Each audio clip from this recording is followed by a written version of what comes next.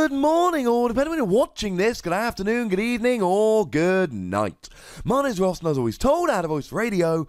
So today, we are looking at another one of the Battle Chatelaine ladies. That's right, ladies and gentlemen. They have been revealed over on the official Japanese website, so it's time we had a little bit of a gander. As suspected, we see that GX Ultra Shiny is largely a reprint set, so that does mean that there aren't that many new cards to go through, but as always, ladies and gentlemen, I will make very well sure that we do all the new cards in their entirety. We won't be looking at most of the reprints because we've already looked at those and I don't want to waste your time.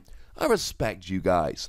Now, my translation here actually comes from Google Translate, but before I post the video, I will just check with David to make sure I'm right about this, but it seems pretty gosh darned clear.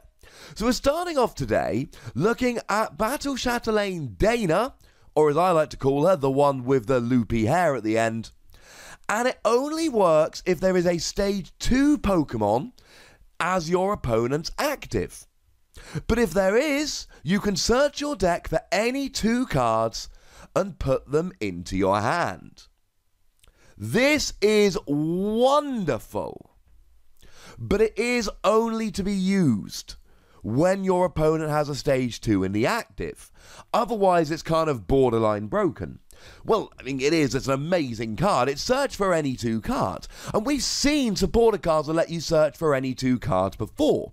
So, we had twins a little while ago. That was in the Heart Gold Soul Silver era. It was released in Triumphant. You could only play it if you were behind in the game, if you had more prize cards remaining than your opponent, but then you got to search for any two cards. Slower decks, setup decks, things like Magnezone decks would want to fall behind by a prize, because then as soon as you fell behind by a prize, you went and searched for a rare candy Magnezone, and then you had the Magnezone that let you draw until you had six cards in your hand, and you were golden. And then a little while later, we had teammates, and yeah, they were similar enough that on more than one occasion, I called teammates twins on an official stream. My apologies. And you can only use this if one of your Pokemon was knocked out during your opponent's last turn. And then you got to search for any two cards and put them into your hand. Now, this was awkward because people got confused by the rulings.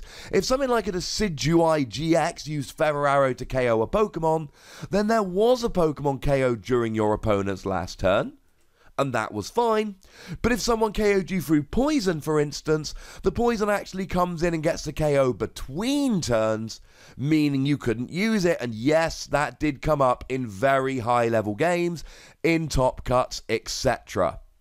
So, Please don't think that never happened. that definitely happened. I mean, even recently we got Steven's Resolve, and Steven's Resolve is a great card. You get to search for any free cards. That's better than two. The problem is, you can only use it if you are willing to end your turn.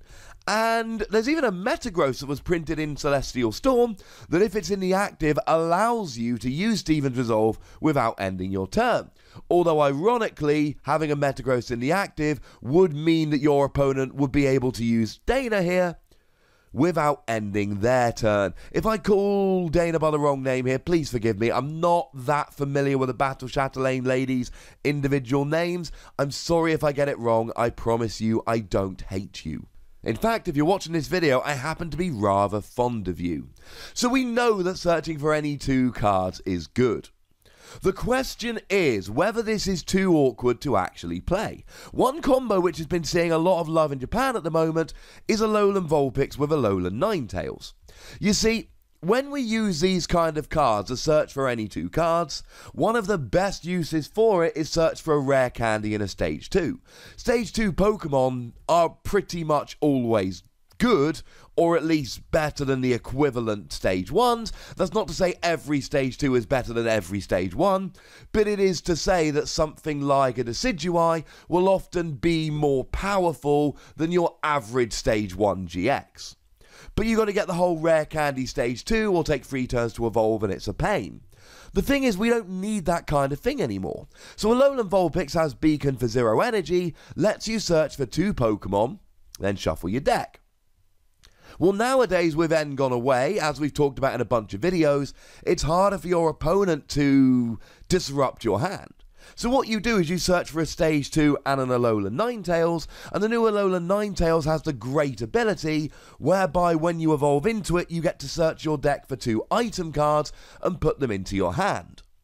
And one of them will be a rare candy. So you can essentially use Alolan Vulpix to guarantee you get the turn 2 stage 2, going second because you can't use Beacon going first. So actually, there is an argument here that Dana is a card that we don't need so much. The other thing that we do need to mention is that it's only usable if your opponent has a stage 2 in the active. And it's not like you can just play a Guzma to bring them into the active, because, well, if you use a Guzma to bring it into the active, well, that's your supporter for the turn. So that's a little bit awkward because now you can't use Dana, but because You've used a supporter for the turn. Now, maybe you can play an escape rope if your opponent only has stage 2s on the bench, and Custom Catcher is a gusting effect straight away, no coin flip or anything, but only if you play two at the same time. And one of the best ways to get this working is using Alolan Ninetales. And don't get me wrong, right? Dana is better than Alolan Ninetales. The effect is more powerful. However, you, you can't always use it. The thing is, right, if you're playing something like Custom Catcher, Custom Catcher is going to be good regardless. But the problem is, you then have to have both Custom Catcher and Dana in hand at the same time. And even that is when your opponent has a stage two on the bench. Now, if we look at something like the recent regional in Memphis, Tennessee, it happened this month and it had almost 800 players. So this is a pretty good test. And if we look at the top eight, there was a Rayquaza Vikavolt in top eight. That was the only stage two that was in top eight, and unfortunately, even then, it's a support Pokemon. Vikavolt is not likely to be in the active, so you can use something like a custom catcher to bring it into the active, but then you've got to have something like a custom catcher and a Dana, which is a little bit of a pain. We saw that a Magnezone deck came in 36th. Yay! And we do see occasionally that Metagross and Solgaleo decks do see a little bit of play. Yet it's weird that so many of the stage twos that are seeing kind of fringe success all happen to be metal.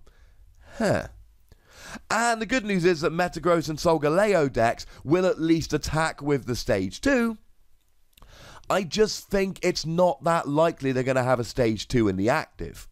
So, what we have here is an effect which has been proven to be great, that we know is incredibly good, but we just don't know if it's going to end up being too awkward to actually use. Now, we did look at Morgan the other day, and Morgan, when you discard the other three Battle Chatelaine ladies, you've got to have all four of these in your hand at the same time. You then get to look at the top 12 cards of your deck and then attach as many energy as you like that you find there.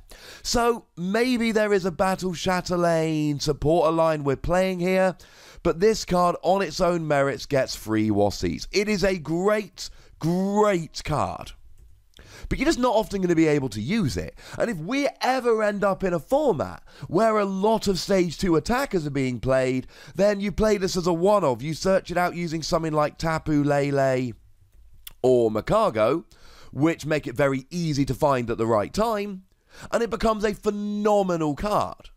But I just showed you the results. Well, I showed you some, told you the rest, of the latest big regional, and there just aren't stage two attackers at the moment. You get the odd stage two support Pokemon. But even then, you're looking at a stage 2 support Pokemon, you got to try and get it in the active. The Battle Chatelaine cards are very interesting, there's no doubt about that but I am getting the feeling they're going to be a bit too awkward to use. When we've done them all, I will do a little roundup video showing you the best way to actually use them as a set.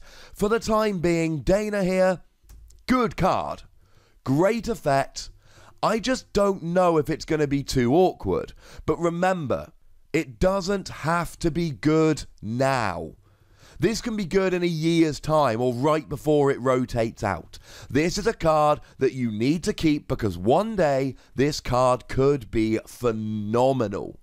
As it stands, I don't think I'm going to be putting it in any of my decks because I just don't see enough stage 2s around. Sad face. But right now, ladies and gentlemen, I want to hear from you guys. So tell me what you think about this over in the comment section. Go nuts, but please do remember the rule be nice. Make sure you like this video, subscribe to this channel, follow me on Twitter at the Wossy, and Twitch for some live action at twitch.tv slash PTCG Radio. If you want to support the channel, get some bonus podcasts and all of that, head on over to patreon.com slash PTCG Radio, where you can do exactly that. And do make sure you're checking out my other channel, Wossy Plays, for Dragon Ball, Transformers, Keyforge, and whatever else looks fun action. But by far the most important thing, as always, is to look after yourselves until next time. Thank you very much for watching. My name is Ross, and you've been watching PTCG Radio.